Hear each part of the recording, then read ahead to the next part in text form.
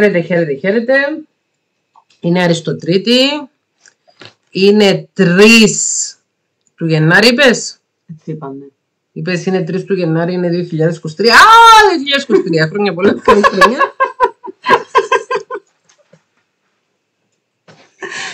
Και για ποιο θέμα θα μιλήσουμε σήμερα; Θα μιλήσουμε για την ψυχολογική κακοποίηση των παιδιών που είχαν την ατυχία να μεγαλώσουν με ενάρκησους γονείς.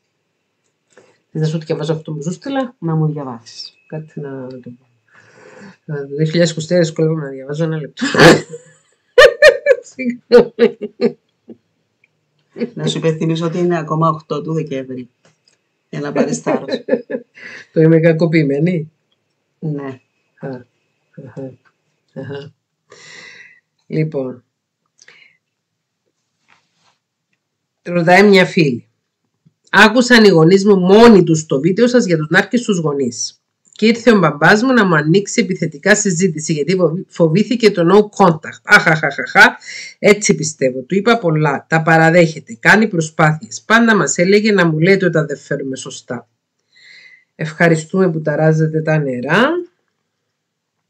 Αυτό που ήθελε να ρωτήσει η φίλη είναι ε, ε, πώς διαχειρίζονται τα παιδιά, α, τα ενήλικα, το γεγονός ότι έχουν μεγαλώσει με εναρκή στους γονείς και πώς διαχειρίζονται το κομμάτι του no contact. Ναι.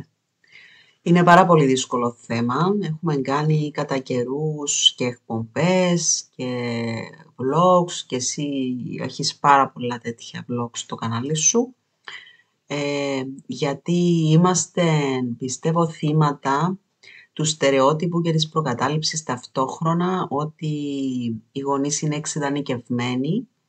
Ε, είναι σαν να τους έχει βάλει η κοινωνία φωτοστέφανο και δεν περνάει από το μυαλό μας ότι μπορεί και να μην κάνουν να είναι γονείς ή να, μην είναι, να είναι ακατάλληλοι τέλος πάντων για να μεγαλώσουν υγιώς παιδιά. Ε, οι άνθρωποι που μπορεί να έχουν ναρκισιστικά στοιχεία ή ενδείξεις ή ακόμη και διαταραχή ναρκισιστική μπορεί και να μην το γνωρίζουν, μην πω ότι στις περισσότερες περιπτώσεις δεν το γνωρίζουν. Όχι μάνα μου, νομίζω ότι είναι άλλη ανάρκηση. Ακριβώς, γιατί όταν είναι κανείς νάρκισσος ε, δεν περνά καν από το μυαλό του ότι μπορεί να υπάρχει έστω κάτι με πτών στον ε, στην χαρακτήρας του. Μα είναι ποτέ δυνατόν να είμαι εγώ νάρκισσος, αποκλείεται. Από εκεί κλείεται. Λοιπόν, αυτό που μένει στα παιδιά όσα ξεφεύγουν από τη μέγενη του να γίνουν και εκείνα νάρκισση, γιατί υπάρχουν δύο οδοί. Το ένα είναι να μοιάσεις σε αυτούς τους γονείς και να γίνεις νάρκισσος ε, ή να έχεις και, την, έχεις και το γονίδιο, να, έχεις και την, να μοιάσεις κιόλας. Και το άλλο είναι να γίνεις ένας α, ενήλικας α, που να είναι παθητικός, να είναι ένα θύμα. Και η τρίτη εκδοχή καλύτερη είναι να το συνειδητοποιήσεις και να ζητήσεις άμεσα και πολύ γρήγορα α, υποστήριξη ψυχοθεραπευτική, να το αντιληφθείς προκειμένου να μην πάει στα δύο άκρα. Που το ένα είναι να γίνεις νάρκισσος εσύ και το άλλο είναι να είσαι ένα θύμα των νάρκισσων. Ε, τα, τα παιδιά που είναι θύματα λοιπόν είναι σαν να ζουν μονίμως με μία λαχτάρα ότι θα βρούνε κάπου σε, στο πρόσωπο κάποιου κάποιας τη μητέρα και τον πατέρα που θα τους αγαπάει για πάντα και θα είναι πάντα εκεί για εκείνους ανθρωπίνος και με ένα φυσιολογικό τρόπο να δίνει την αγάπη της και τη φροντίδα της είτε η μητέρα είτε ο πατέρας. Ε, και τα άτομα αυτά ενδέχεται μερικές φορές να έχουν το φόβο της εγκατάλειψης, δηλαδή να αισθάνονται ότι οι άλλοι θα τους εγκαταλείψουν και να περιμένουν από, δηλαδή να, να το περιμένουν, να τους περιμένουν στη γωνία, πότε θα με εγκαταλείψει, τώρα θα με εγκαταλείψει, μετά θα με εγκαταλείψει. Ε, ποιο σημάδι μου δίνει η συμπεριφορά του ότι θα με, θα με αφήσει; Και στο τέλος ε, γίνονται θύματα αυτής της, αυτή, αυτού του φόβου τους, ο, βλέποντας σημάδια που μπορεί και να υπάρχουν, μπορεί και να μην υπάρχουν στους άλλους, ότι είναι υποψήφια να πάσα στιγμή να τους εγκαταλείψουν. Άρα θεωρείς ότι τα παιδιά που έχουν μεγαλώσει με νάρκισσους γονείς, με γονείς με ναρκισιστικό στυλ προσωπικότητας, είναι παιδιά τα οποία είναι πολύ πιθανό να υποφέρουν με τη φοβία της εγκατάλειψης. Ναι. Ακριβώς γιατί δεν ζήσαν την, το συναισθηματικό δεσμό εκείνο, τον ασφαλή, που να τους δώσει το νόημα και το μήνυμα ότι είναι ικανά σαν παιδιά να αγαπηθούν.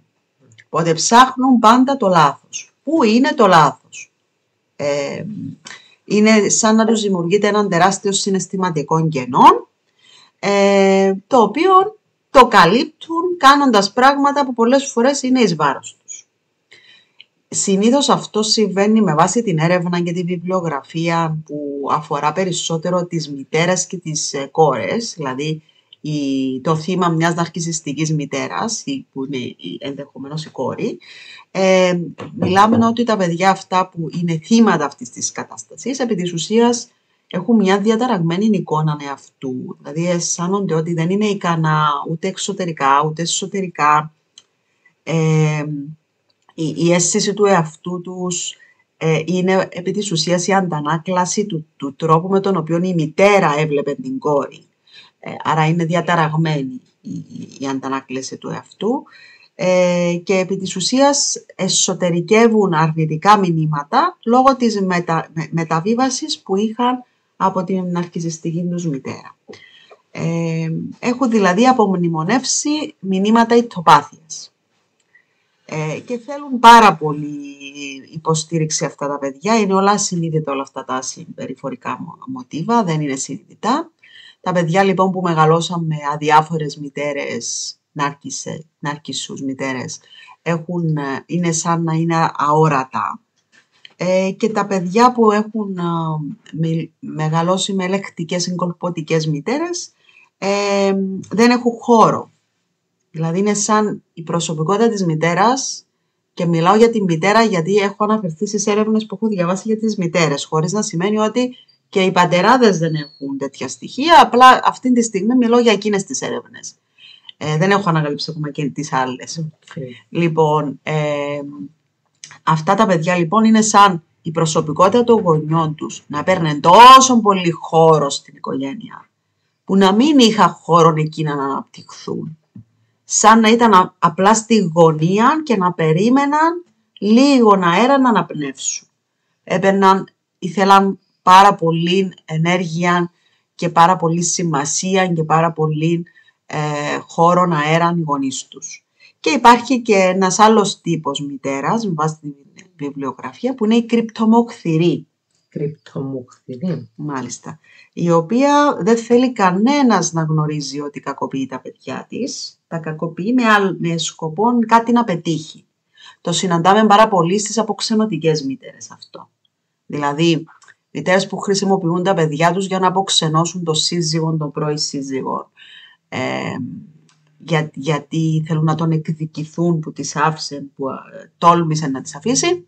Οπότε βάζουν τα παιδιά πάνω, τα, τα κουρδίζουν να το πω κοινό στα παιδιά, με έναν κρυπτομοκθυρό τρόπο, αλλά έξω στο δικαστήριο, στους δικηγόρους τους, γενικότερα στη ζωή τους, δείχνουν έναν αγγελικό πρόσωπο, έναν πρόσωπο μιας μητέρας θύματος, Αγίας που σκίζεται και σκάει για τα παιδιά της και δεν ξέρει τι να πρωτοκάνει για να τα βοηθήσει.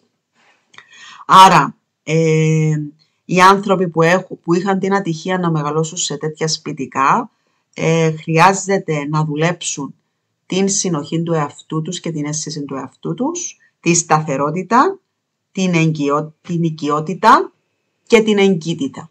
Δηλαδή όλες αυτές οι, οι σταθερές που πρέπει να δουλέψουν είναι ε, η αιτία που αυτοί οι άνθρωποι δεν μπορούν ενδεχομένως και όχι γενικολογώντας, ενδεχομένως βάζω το ενδεχομένως, να στεριώσουν σε σχέσεις. Γιατί πάσχουν από αυτά, αυτά δεν έχουν ε, απαρτιώσει αυτές τις σταθερές που προανάφερα. Την οικειότητα, τη συνοχή του εαυτού τους, τη σταθερότητα και την εγκύτητα. Και θα λέγαμε ότι οι συνεξαρτούμενοι άνθρωποι έχουν αυτό το πρόβλημα. Ενώ παρουσιάζεται ψευδό ότι μπορούν να συνδέονται, στην ουσία δεν συνδέονται με αυτές τις σταθερές που λες εσύ, που είναι οι υγιείς σταθερές Οπότε, όσοι μας ακούν και έχουν έτσι εντοπίσει σημάδια στον εαυτό τους, είναι καλό να το ψάξουν ε, να ρωτήσουν, να, κάνουν, να επισκεφτούν έναν ειδικό της επιλογής τους και να ψάξουν να δουν γιατί συμβαίνει αυτό και πώς μπορούν να φύγουν από όλη αυτή τη δύσκολη κατάσταση που τους έφερε το μεγάλωμά τους. Ε, νομίζω ότι χρειάζεται εξειδικευμένη ψυχοθεραπεία. Δηλαδή ψυχοθεραπεία από ειδικών, ο οποίος να αναγνωρίζει ε, το πώς επηρεάζεται η συνδεσιμότητα και ο τρόπος λειτουργίας και προσωπικότητα και το στυλ προσωπικότητας θα έλεγα του παιδιού όταν μεγαλώνει με γονείς οι οποίοι έχουν αρκισιστικό στυλ προσωπικότητας. Δηλαδή γονείς οι οποίοι δεν είναι γονεϊκοί, δεν είναι φροντιστικοί, δεν είναι η μητέρα μητρική, ο πατέρας πατρικός, δεν σε ενέχουν, δεν σου δίνουν την αίσθηση της ασφάλειας και της στενής σύνδεσης που τόση πολύ ανάγκη έχει ένα παιδί. Και σίγουρα υπάρχει και το κομμάτι του ότι εάν τα έχεις όλα αυτά, πολύ πιθανόν να υποφέρεις και από σύνθετη διαταραχή μετατραυματικού στρες, οπότε οποιασδήποτε, οποιαδήποτε ερεθίσματα α, έχεις από τους ίδιους τους γονείς αυτούς οι οποίοι ήταν άρκηση ή από γεγονότα που σου τους θυμίζουν και σίγουρα δημιουργεί μια ερωτική σχέση, είναι αρκετά ισχυρό ερεθίσμα, σου ξυπνάνε και όλη αυτή την συναισθηματική απορρίθμιση που προκαλεί η σύνθετη διαταραχή μετατραυματικού στρες. Μάλιστα. Ευχαριστούμε πάρα πολύ. Έτσι, μπαίνουμε δυναμικά στο 2023. Στη σημερινή Αριστοτρίτη, η Αριστονίκη μας εξήγησε με καινούριους όρους, σας ευχαριστούμε μας που τους φέρατε στη συζήτηση, για το πώς επηρεαζόμαστε όταν μεγαλώνουμε με γονείς οι οποίοι είναι, έχουν αρχισιστικό στυλ προσωπικότητας, πώς επηρεάζεται ο τρόπος με τον οποίο λειτουργούμε και που πρέπει να εστιαστούμε προκειμένου να υπερβούμε αυτή την έλλειψη ε, γονεϊκότητας που είχαμε από γονείς οι οποίοι ένας άνθρωπος με ναρκισιστικό στυλ προσωπικότητας δεν μπορεί να είναι γονεϊκός εκ των πραγμάτων. Καλή χρονιά σε όλους ευχόμαστε.